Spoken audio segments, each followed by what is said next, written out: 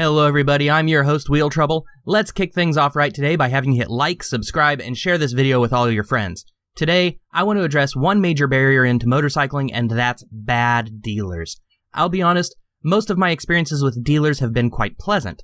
If a local dealer treats me well, like my money means something to them, I'm going to be loyal. This video is more of a warning shot to dealers who may be making big mistakes, instead of a video to newbies. The advice to somebody who's dealing with a bad dealer is pretty simple. Find another dealer. On that end, the problem's solved. That doesn't really help the sport grow, though. Accessibility plays a major role in sales as well. If a BMW dealer doesn't exist in my hometown, I'm exponentially less likely to have a BMW motorcycle. Actually, that was a real factor that helped me decide on the Versys X rather than the G310 GS. Let's say the local Yamaha shop was a jerk to me, and they're the only ones in my town. Then it seems I'd be far less likely to ride altogether. I've trolled the web to find the most common complaints of dealers that people have. Most of this is anecdotal, but so are the reviews that people leave on dealers' Google listings. I'm throwing these out in no particular order, and I'm going to try and be a bit rapid fire with these. Problem number one lack of follow up from the salesman. If you're in a business selling expensive products, the least you could do is ask the customer if you can still take their money, right? Be polite about it, and make sure your gestures are invited. If a person called you for a part, odds are they need that part to keep going. Problem number two service appointments are way too far out. I get it, you're busy. Even so, I want to ride now. At $100 plus an hour, it's not unreasonable for the customer to expect expediency. If you can't get to it, I'm going to go to somebody who can, no offense. Labor is almost pure profit for a store, so it would be a good area to invest in. Having said that, I've tried to hire people too, and I'll admit, it's not easy. I've seen shops outsource certain routine jobs, maybe your shop should consider that as an option. If you own a shop and you've got a buddy who's a killer at fork rebuilds, maybe let him do the job after hours as a private contractor. The third item on this list is lack of knowledge. I personally don't fault the dealer for this. There's a rather daunting number of motorcycles on the market, and even within one brand, there's usually at least a dozen different products. The dirt bikes, the sport bikes, the dual sports, the jet skis, the side by sides, you get the idea. As nice as it is to find a dealer who knows everything about everything motorized, it's not very realistic. If you find a dealer who isn't afraid to check the manual, consider that a good sign. Next on my list is a couple different complaints all rolled into one big one. Prices are high and wages haven't kept up with inflation. This is just a fact. Get over it. Motorcycles are a luxury item, and because people need to make their dollars stretch farther, the fact that the customer is willing to come into your store is nothing short of a small miracle. I realize that MSRP is what it is, but then we've got all the hidden crap. We've got the doc fees. We've got tag and title. We've got assembly fees. It's easy to spend an extra grand on all these stupid hidden fees, and guess what? That's a lot of money to surprise somebody with. Either be open about these fees or find a way to reduce them, please. Take the assembly fee. Was the customer given an option to assemble it themselves? Seems kind of a dick move. You wouldn't sell the bike if it wasn't assembled. There's also the high labor rates. Good mechanics are expensive, and I appreciate that you will give me a discount if I buy the part through you but doubling the rate when I don't get a set of tires from you will cause me to shop around completely, and then you lose me. I've had a dealer go from $30 for a change, uh, per tire, of course, to $60 per tire. Hell's bells, at that rate, I just learned to do it myself and bought the tools.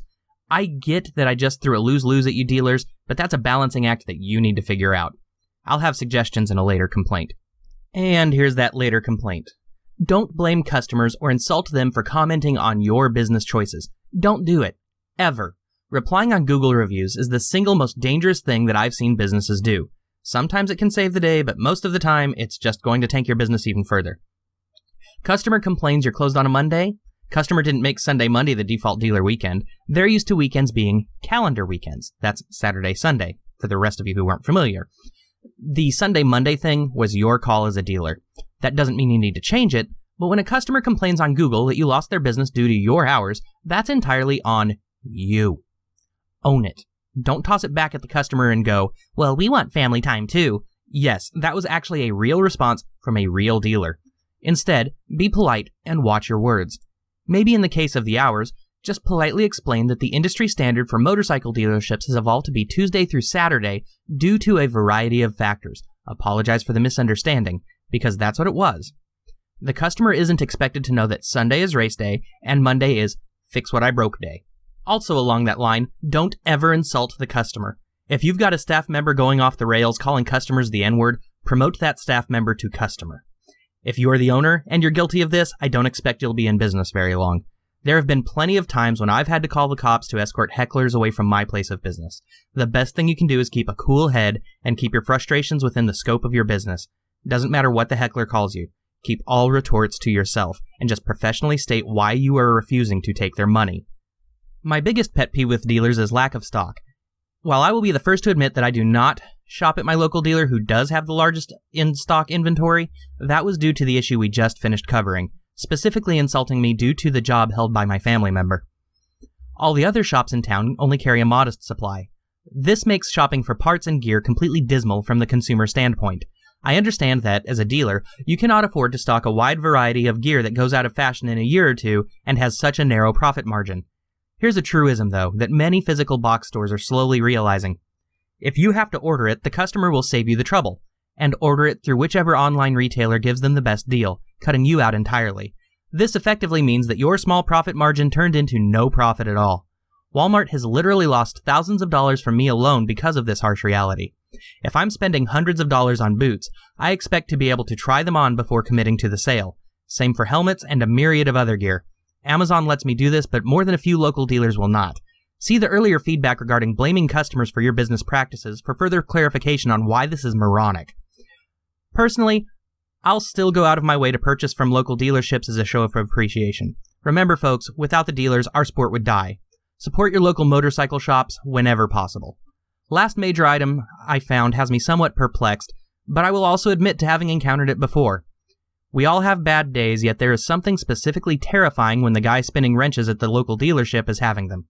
I've had bolts come out completely over torqued very badly. And I've read horror stories about dealers improperly doing brake jobs or improperly mounting tires. There really isn't much that needs said about this. If it's happening, it's bad. Just own up to it if your shop did this, and make it right with the customer who is impacted. Fortunately, every shop that I've done business with that had one of these bad days didn't balk about making it right, and good on them for that. Anyway, that just about covers everything I found worth mentioning. I hope that if you're a dealer, you found this feedback useful. Dealers, I would like to turn the tables. What would you like some new riders to know about how you operate? Leave some comments below, and I may throw some of them into a video. You can support me on Patreon, the link's below. Like, subscribe, and share this video with all of your friends. See you next time. Wheel Trouble out.